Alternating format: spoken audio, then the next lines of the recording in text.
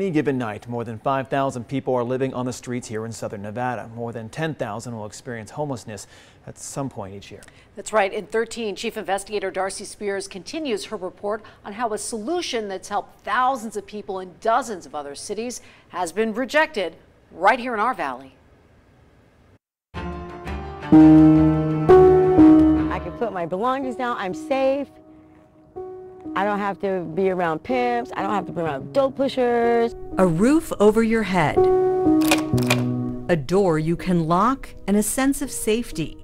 That's what advocates say is fundamental to breaking out of homelessness. Well, being homeless is, is a struggle. Many exist in constant survival mode.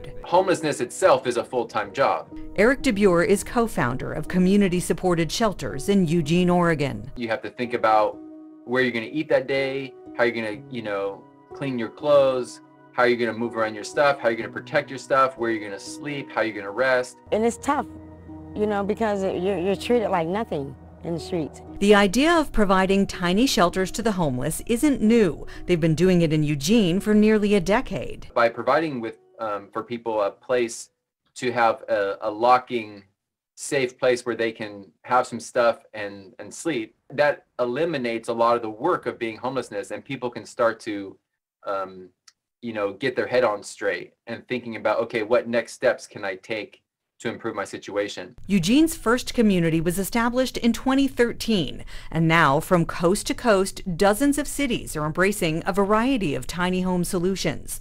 There are numerous sites in the Los Angeles area. Denver has them too. They're in Kansas City, Detroit and Nashville, Tampa, Florida, and Syracuse, New York. There's even this one in Reno.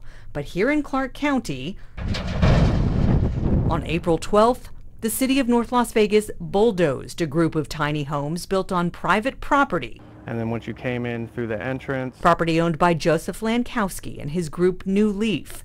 It's where Angela, Savage, and Alan. It was a blessing. It was a blessing. Were beginning to rebuild their lives. What did it mean to you to have this opportunity? What did it represent for you looking forward in your life? For one, achievement. Um, being human and loved. The destruction cost them the key things they need to get out of homelessness. Social security card, birth certificate, it took me forever to get these things. There were no complaints filed by nearby residents or businesses.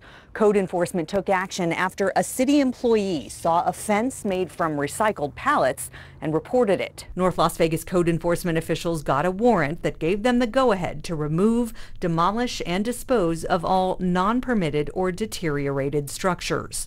North Las Vegas declined multiple requests for an on-camera interview, providing a statement instead, which says in part, by flagrantly ignoring codes and regulations, the property owner created an unsafe, unsanitary condition on the property to the extent that it was deemed uninhabitable. We had first aid kits, we had water, they were going to install showers. Lankowski says he tried to find the process for zoning and permits. And we ran into a, a, dead end because there is no zoning. There is no zoning for what we're trying to do. With donated materials, he and his group of volunteers decided to build first, ask forgiveness later. The need is just too great out here. He was hit with several code violations in April of this year, saying his group was fixing some and appealing others, expecting due process, but getting demolition instead. I'm angry, I'm hurt, mad,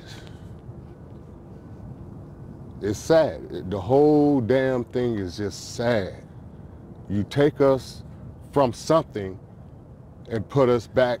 It's, it's sad. It's just sad. Having consulted with community-supported shelters in Eugene, Lankowski thought North Las Vegas would see he could make something similar work for the homeless here. Walls, roof, carpeting, everything was right. It was right. 13 Investigates talked with Eugene Mayor Lucy Vinis. She says tiny home sites there have not blown up into shanty towns or become a major safety problem. The opposite has been the result because we've made a commitment as a city to invest in the facilities that we need in order to enable these to be safe places. An investment Mayor Vinis says actually saves tax dollars. Just health cost alone, just visits to the emergency room alone, when you consider the cost of uh, public safety. And the cost for public works to clean up encampments. We have to make those investments now because the costs just keep building. It doesn't go away. Mayor Vinis says it's also a huge relief for law enforcement. This is absolutely what our police department wants. Uh, these sites, once they're established, they're clean, they're safe, they're well managed. There is no negative impact on the community at all. It's important to note officials here tell us the city's homeless outreach team has connected with Angela, Savage, and Alan. All they give you is bull. Excuse my language. Angela is beyond frustrated with the seemingly endless wait for real help and approval for housing. Well, we're going to put you on this list and we're going to come check on you, but it's always pending. They give you a granola bar and a bottle of water and just have a nice day. You know? Advocates say that points to the overall problem of how homelessness is approached in the valley. They need a leg up to be more productive citizens, and it sounds like the city cut that leg off at the knee.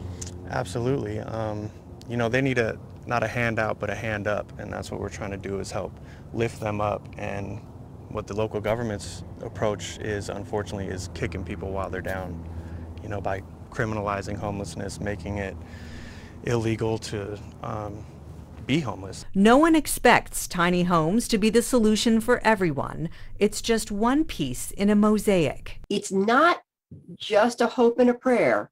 It is confidence in human beings that if you give them an opportunity and you support them, they can begin to build a better life for themselves. A message the folks who briefly lived here hope our city will take to heart. We had so many dreams and opportunities and plans, and, and they just took it like, you know, we're trash. And that's how I feel they, they, they, they're treating us. Like we're trash and we don't deserve to have a place to live. In addition to North Las Vegas, we reached out to the City of Las Vegas and NDOT. Both were involved with destruction of shelters near I-15. You can read their statements on our website at ktnv.com. We also reached out to elected officials who say this is an opportunity to find a process to make tiny homes for the homeless work in Clark County. Darcy Spears, 13 Investigates.